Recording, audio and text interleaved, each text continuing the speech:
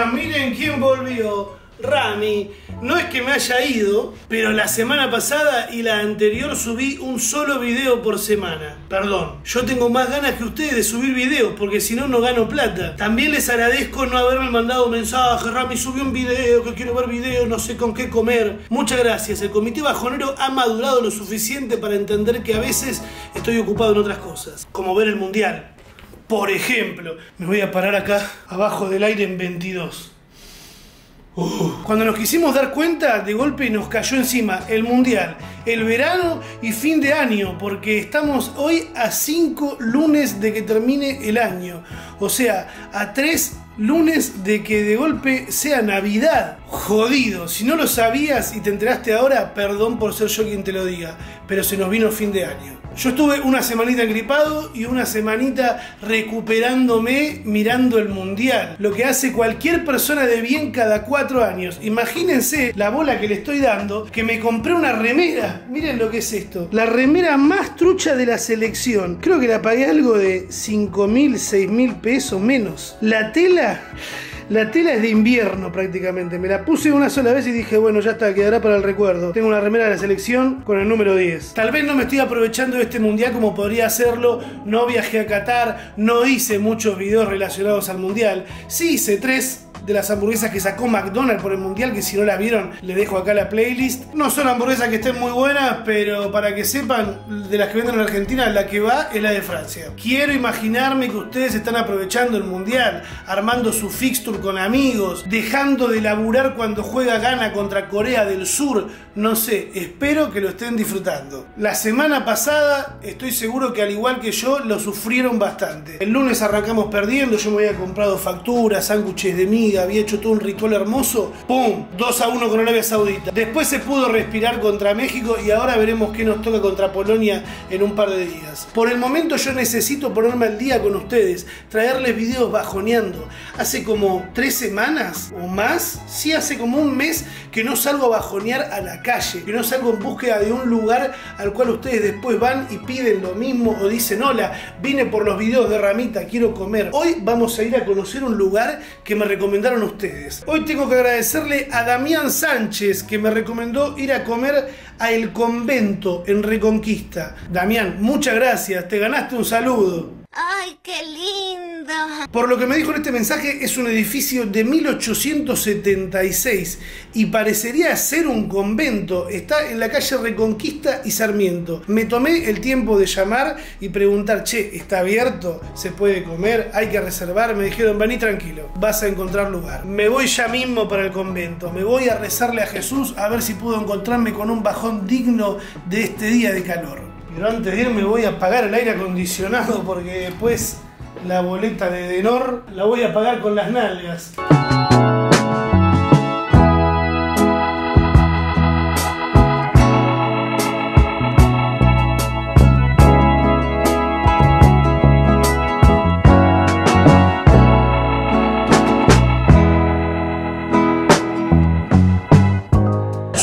Sorprendido con este convento y sorprendido con lo boludo que me desperté hoy porque me traje los dos transmisores y no me traje el receptor, así que voy a grabar con el celular. Puntos a aclarar de este convento. Primero, es hermoso, es un gran lugar para venir a comer y quedarte por allá afuera tranqui, fumándote un puchito como mucha gente. Tenés dos opciones, un restaurante que está un poquito más adelante, que el menú está algo de 2.100 pesos y acá está 1.500, ¿no? Las opciones de menú son un montón. Suprema al puerro, pollo al verdeo, filea de merluza, tarta de verdura con ensalada Cinco platos. y además tenés una carta. Aparte la carta, pero digo, el menú del día por 1.500 pesos adentro del convento, cinco opciones a 1.500 pesos. Estoy entre la suprema con salsa de puerro y el filete de merluza. ¿Qué sale más? Y el filé es fresco, así que sale un montón. Vamos con el filete de merluza con puré mixto. Y para tomar, soda. Bueno, a darle. Hay una diferencia sustancial entre el precio del otro restaurante y este.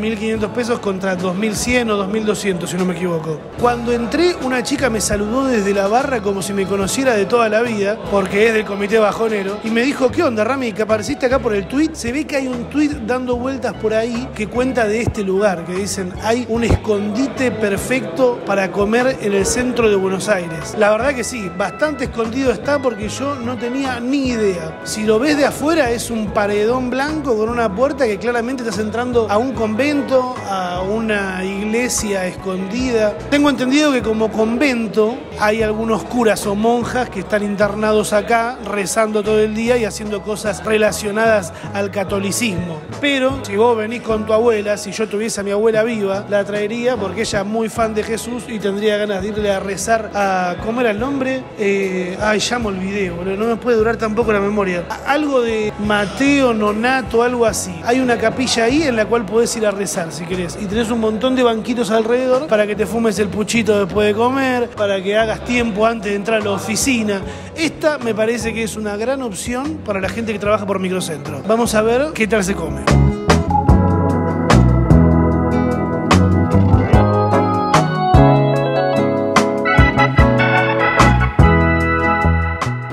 Definitivamente no era el día para sentarse a comer afuera. Ojo, no es que es un horno afuera, corre una leve brisa, pero acá adentro tienen un aire acondicionado que está haciendo que todo esto sea más ameno. 1.500 pesos. El plato de filé de merluza que trae dos milanesas de merluza, permiso, con una buena porción de puré mixto. Yo de manija, y para poder mostrarles a ustedes bien, me pedí aparte la milanesita esta de pollo. Ah, a ver los canelones, mirá así.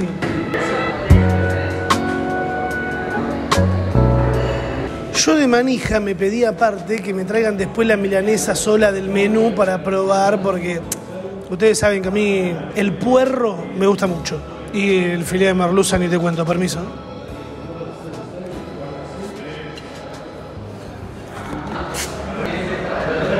Caliente sale, eso seguro. Pero me doy cuenta por la calidad de este filé es que está fresco. Cuando me dijeron, mirá que sale fresco, no mintieron. A veces me pasa que pido filé de merluza por delivery y me llega cualquier cosa. Me llega un filé, boludo, que lo pescaron en el riachuelo. Pero no es el caso. Este es un filé hermoso. Estoy en un momento de la vida en el que estoy tomando mucha soda o agua con gas. No me pregunten por qué. Tal vez, como dije en el video anterior, estoy creciendo. Con un poco pan. Qué hermoso, ¿eh? Qué lindo estos momentos en los que uno paga un plato, un precio razonable más o menos, y encima está bueno.